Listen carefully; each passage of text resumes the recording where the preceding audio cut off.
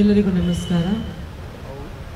ವೇದಿಕೆ ಮೇಲೆ ಉಪಸ್ಥಿತಿರುವ ಕರ್ನಾಟಕ ರಕ್ಷಣಾ ವೇದಿಕೆಯ ಅಧ್ಯಕ್ಷರಾದ ಶ್ರೀ ನಾರಾಯಣ್ ಗೌಡ್ರಿಗೆ ನನ್ನ ನಮಸ್ಕಾರಗಳು. ವೇದಿಕೆ ಮೇಲೆ ಉಪಸ್ಥಿತಿರುವ ಕರ್ನಾಟಕ ರಕ್ಷಣಾ ವೇದಿಕೆಯ ಪದಾಧಿಕಾರಿಗಳಿಗೆ ಮತ್ತು ಹಿರಿಯರಿಗೆ ನನ್ನ ನಮಸ್ಕಾರಗಳು. ವೇದಿಕೆ ಮೇಲೆ ಉಪಸ್ಥಿತಿರುವ ಪ್ರೇಮ್ ಅವರಿಗೆ ನಮಸ್ಕಾರಗಳು. ಮತ್ತು ತಿಮ್ಮೇಶ್ ಸರ್ ಅವರಿಗೆ ನಮಸ್ಕಾರಗಳು. ಸ್ಪೆಷಲ್ ಆಗಿ ಯಾಕೆಂದರೆ ಅವ್ರು ನನ್ನ ಮದುವೆ ಮಾಡಿಸಿದ್ರು. ಹಾಗೆಯೇ ವೇದಿಕೆ ಮೇಲೆ ಉಪಸ್ಥಿತಿರುವ ಕರ್ನಾಟಕ ರಕ್ಷಣಾ ವೇದಿಕೆಯ ಮಹಿಳಾ ಘಟಕದ ಅಶ್ವಿನಿ ಅವರಿಗೆ ನನ್ನ ನಮಸ್ಕಾರಗಳು. ನಾರಾಯಣ್ ಗೌಡರು ಹುಟ್ಟುಹಬ್ಬದ ಸಮಾರಂಭದಲ್ಲಿ ನಾನು ಈ ಮಾತನ್ನ ಹೇಳಿದೆ. ಅವ್ರ ಮೇಲೆ ಮುಂಚೆ ಅಂತಲೂ ನನಗೆ ತುಂಬ ಗೌರವ ಇತ್ತು. ಆದರೆ ಈಗ ಆ ಗೌರವ ಹತ್ತು ಪಟ್ಟು ಜಾಸ್ತಿ ಆಗಿದೆ.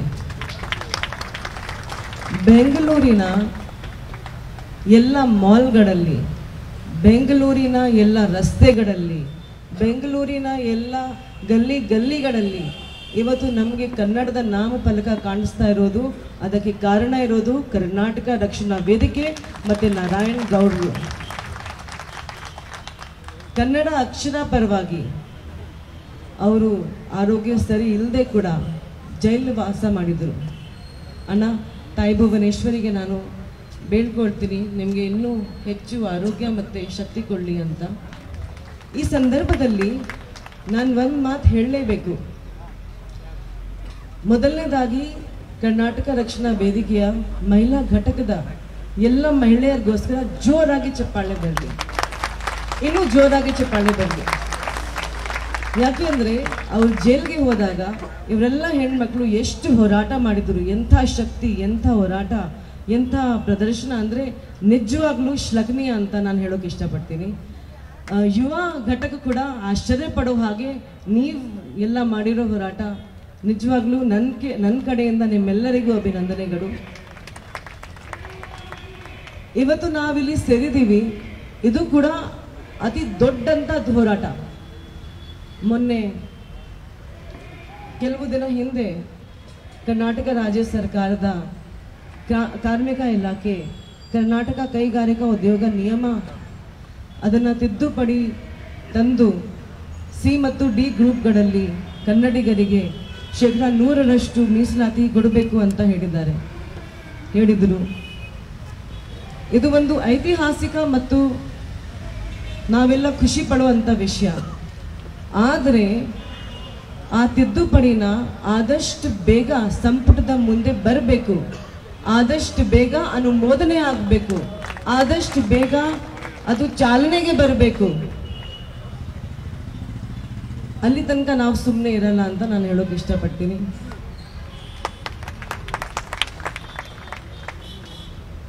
ನಾನು ಒಂದೇ ಒಂದು ಮಾತು ಹೇಳ್ತೀನಿ. ಒಂದು ಭಾಷೆ ಮೇಲೆ, ಒಂದು ಭಾಷೆ ಮೇಲೆ ಒಂದು ಭಾಷೆ ಉಳಿಬೇಕು, ಬೆಳಿಬೇಕು ಅಂತ ಅದಕ್ಕೆ ಎರಡು ಕಾರಣ ಇರುತ್ತೆ.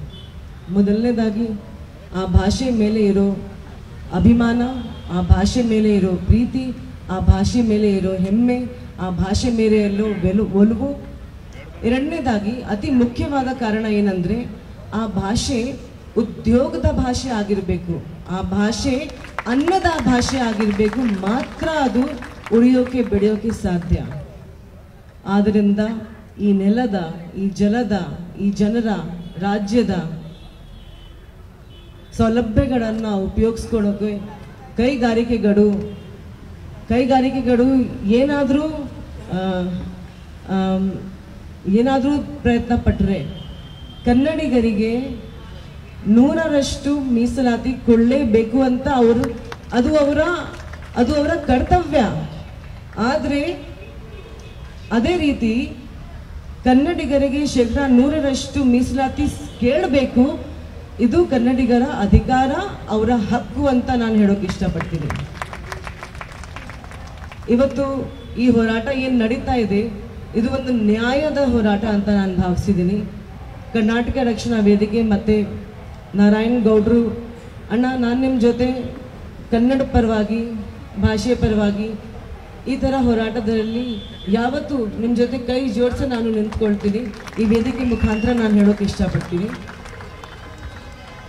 ಇವತ್ತು ನಾವು ಏನು ಹೋರಾಟಗೋಸ್ಕರ ನಾವೆಲ್ಲ ಇಲ್ಲೇ ಸೇರಿದ್ದೀವಿ ಇದು ತುಂಬ ಒಂದು ಗಂಭೀರವಾದ ವಿಷಯ. ಇದು ಇವತ್ತಿನ ವಿಷಯ ಅಲ್ಲ, ಇದು ನಲವತ್ತು ವರ್ಷದ ವಿಷಯ. ಸರೋಜಿನಿ ಮಹಿಷಿ ವರದಿಯಿಂದ ಹಿಡಿದು ಡಾಕ್ಟರ್ ರಾಜ್ಕುಮಾರ್ ಕರ್ನಾಟಕ ಚಲನಚಿತ್ರದ ಎಲ್ಲ ಹಿರಿಯರು, ಎಲ್ಲ ಹಿರಿಯ ಸಾಹಿತ್ಯಕಾರರು, ಎಲ್ಲ ಹಿರಿಯ ಹೋರಾಟಗಾರರು, ಎಷ್ಟು ಜನ, ಎಷ್ಟು ಹೋರಾಟಗಾರರು ಅವರು ಅವ್ರ ಜೀವನ ಅವ್ರ ಜೀವನ ತ್ಯಾಗ ಮಾಡಿದ್ದಾರೆ, ಬಲಿದಾನ ಕೊಟ್ಟಿದ್ದಾರೆ. ದರ ಬೇಂದ್ರೆ ಅವ್ರದ್ದು ಒಂದು ಗಮನ ಈ ಸಂದರ್ಭದಲ್ಲಿ ನಾನು ಹೇಳೋಕೆ ಇಷ್ಟಪಡ್ತೀನಿ.